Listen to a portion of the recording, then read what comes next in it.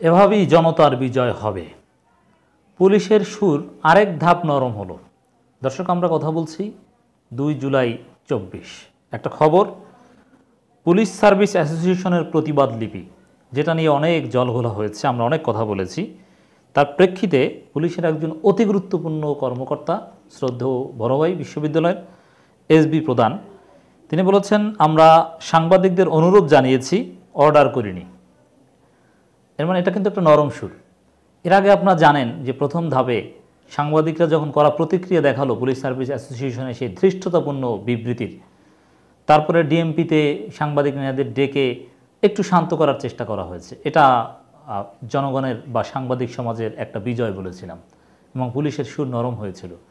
এখন এই অতি গুরুত্বপূর্ণ কর্মকর্তা এবং পুলিশ সার্ভিস অ্যাসোসিয়েশনের গুরুত্বপূর্ণ লোক জনাব এসবি প্রধানের যে বক্তব্য, আমরা অর্ডার করিনি। অনুরোধ জানিয়েছিলাম। এটা আরেক ধাপ সুর নরম হলো বলে আমরা মনে করি।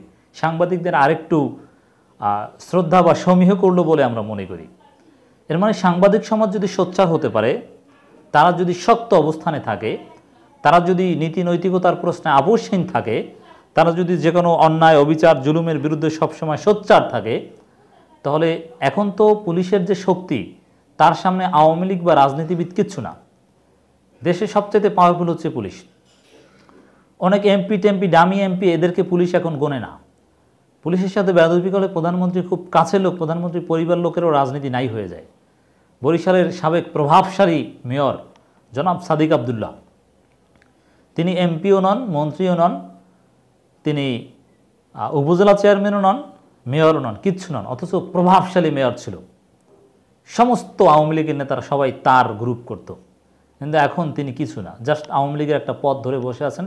যে পদের তেমন কোনো দাম নেই, কোনো জনপ্রতিনিধি না। কেন হয়েছে?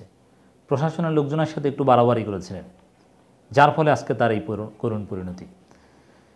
এর মানে এটা তারা বোঝাতে চেয়েছে যে পুলিশের পাওয়ার আওয়ামী লীগের বিভিন্ন এমপি মন্ত্রীদের চাইতে বেশি। পুলিশ যদি খুব সিরিয়াসলি বিভিন্ন এমপি মন্ত্রীদের বিরোধিতা করে, যেহেতু পুলিশ সরকারকে ক্ষমতায় রেখেছে, পুলিশেরই ভূমিকা সবচেয়ে বেশি। বিরোধীদেরকে পিটিয়ে হোক এবং ভোট কারচুপি করে হোক, যেভাবেই হোক না কেন, যে কনসিডারই করুন না কেন আপনারা, অতএব তাদের ক্ষমতা সবচেয়ে বেশি। এই মারাত্মক পাওয়ারফুল প্রভাবশালী আমাদের এই সংস্থাটি, যেটা জনগণের বন্ধু হওয়া উচিত, যারা পরিশুদ্ধ হোক, আমরা সেটাই চাই, যাদের ভালো চাই, কারণ আমরা পুলিশ ছাড়া কেউ চলতে পারি না। আমাদের, আমরা বিএনপি নেতা হই, জামাত নেতা হই, আমাদের মোবাইল হারালে পুলিশের কাছে যেতে হয়। যদিও এটা তাদের দায়িত্ব, তাদের সার্ভিস দেয়, এটা টাকার বিনিময়ে তারা রাষ্ট্র তাদেরকে পে করে, তার বিনিময়ে তারা আমাদেরকে সার্ভিস দিবেন। এটা নিয়ে তাদের গর্ব করার কিছু নেই। চাকরি করেন। টাকার বিনিময়ে, বেতনের বিনিময়ে চাকরি করেন। তারা তো আর উনিশশো একাত্তর সালে মুক্তিযুদ্ধের মতো, মুক্তিযোদ্ধাদের মতো ফ্রি সার্ভিস দেন না। যে জাস্ট একেবারে দেশের স্বার্থে তিনি ঝাঁপিয়ে পড়েছেন। না, এটা মাসিক বেতন, টাকার বিনিময়ে। এই জন্য গর্বের কিছু নেই।